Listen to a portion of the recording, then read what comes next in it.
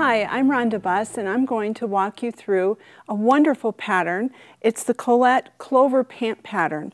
When I got this pattern, I absolutely enjoyed it so much because it's just kind of a feast for the eyes. It has this lovely little stitching line on the side.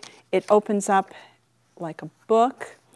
Each of the pages flip, making it very easy to follow along as you work through the process of putting the pants together.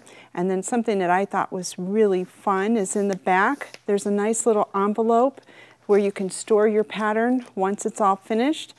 And then you just close it with the tab in the back and nicely and neatly put it away.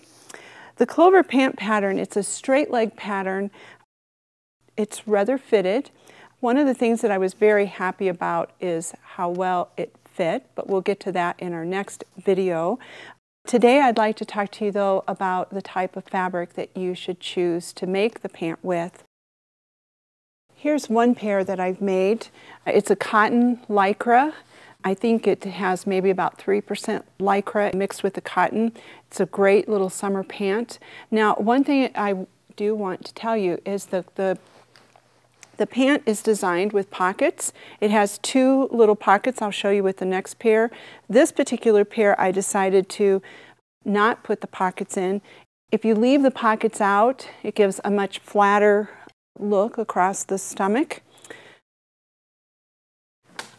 The other pair I did, these are actually a pair of wool pants with Lycra. They fit, like I said, very nicely. These I did put the pockets in.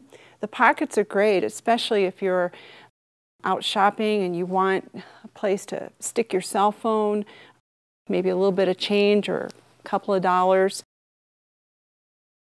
It's very nice, but you can see that that would add just a little bit of extra bulk to the front of your pants. So that's something that you can choose to add or not add, and we'll talk about the construction of that in a later video. As far as fabric choice is concerned, one of the things that I would do is because of the fact that the pants should be made with a stretch, some fabric that has stretch to it, making the pants out of a pair out of muslin is not going to be such a great idea because you're not going to get the same fit that you'll get if you have fabric that has some lycra stretch to it. So my suggestion would be to buy a piece of fabric that is inexpensive or that you got on sale for a great price, but has a lot of stretch to it. This is a stretch denim, and you can see that it really stretches quite nicely. This would make for a great first muslin pair. And, and if they fit the first time, fabulous. Then you've got a great pair of pants. I showed you the, the wool version that I made. This also has stretch to it, but not nearly as much as the stretch denim does. So I, my suggestion would be to get something that has a really nice stretch, not a knit, but something with cotton and lycra, and then move on, once you get a good fit, then move on to a fabric that doesn't have as much stretch to it. Next, we're going to talk about how the pants fit.